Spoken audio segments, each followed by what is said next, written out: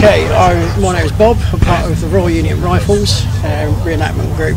Um, we uh, portray the British Army in Germany and on exercise Lionheart 1984. Um, kit I'm wearing is 68 pattern uh, DPM uh, smock and trousers. The uh, the boots are the DMS boots. I don't know if you can see that. Um, very very similar, or basically the same as the old World War II boots, but with a direct moulded sole. Still with the puttees to give the ankle support. Um, webbing wise, 58 pattern webbing. So we've got the two ammo pouches at the front, respirator bag to the left, water bottle pouch to the right, two kidney pouches with your mess tins and, and, uh, whatnot in them, poncho roll on the bottom, NBC roll on the top.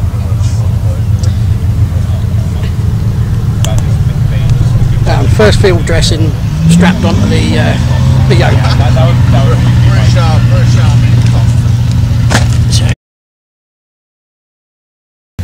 Okay, so we'll start from what would be right when you're wearing it. So in this pouch, obviously magazines.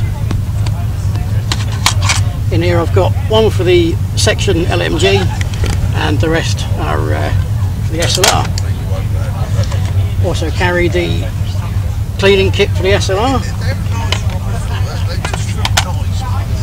58 webbing is lovely and user friendly as you can see.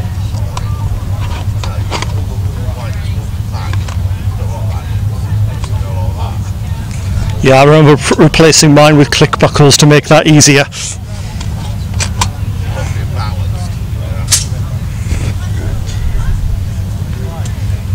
Move out the small pouch on the side, most important piece of equipment, knife, fork and spoon.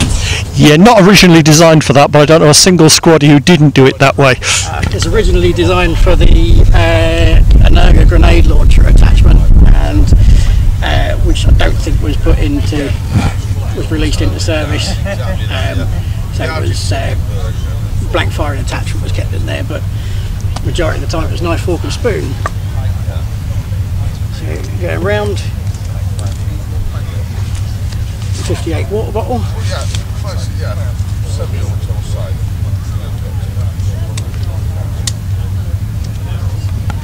Then coming round, basically these are your two pouches that you live out of. So gloves to keep warm,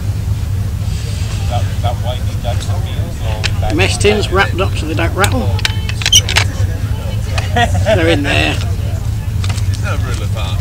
Got the uh, hexi burner, matches, sugar, a few bits and pieces, sponge to give it a clean down with because hexi burns and leaves black residue over everything.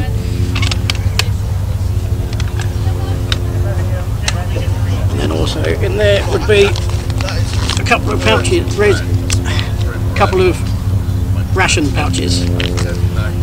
So beans, bacon, and potato and, and, and pork curry on this one. And they're actually usually quite nice as well. Yeah, there was always a big trade, wasn't there, for the ones that were really good and the ones that weren't. Yeah. I uh, I can't think what it was last night that I had, but I got halfway through and just went, nope. right, so moving round to this one. Wash roll. Which has got flannel, shaver, camouflage cream, foot powder, toothpaste, and a boot cleaning kit.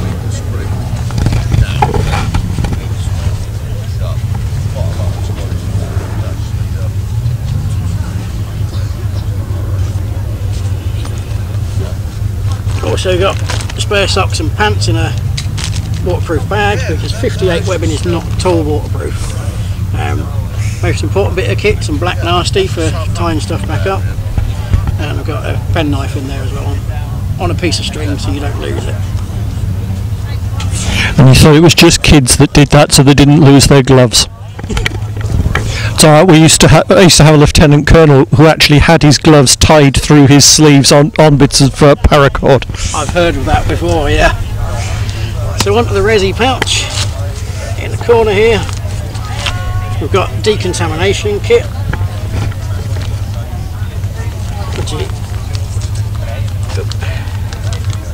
again, lovely user-friendly 58 webbing. Inside, you've got the gloves, outer and inner the uh, respirator itself, which is an S6.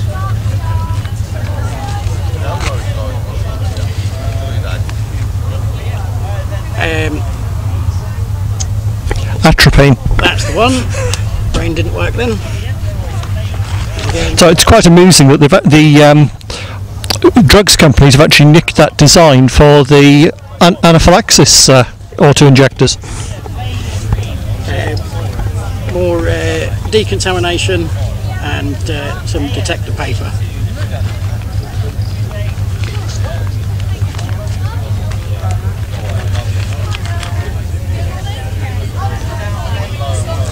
I mean, I've got full NBC kit if you wanted to do one at some point in That might be a really good idea. Although you, you're a brave man in this weather, with it nice and hot. yeah, maybe first thing in the morning or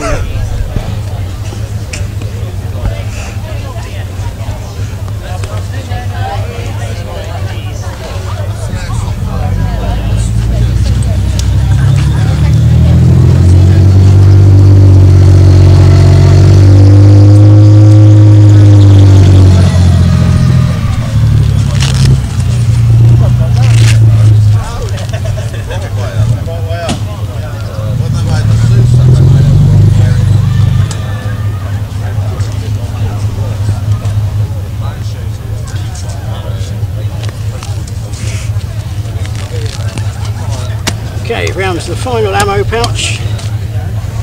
Bayonet on the side.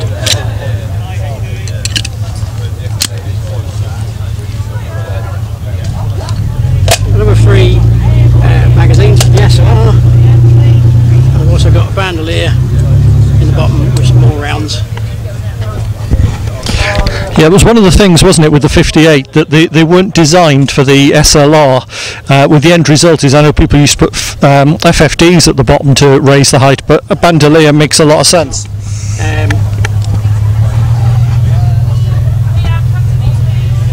okay, so on the bottom, you've got your poncho roll for wet weather, and it is just a uh, just a poncho.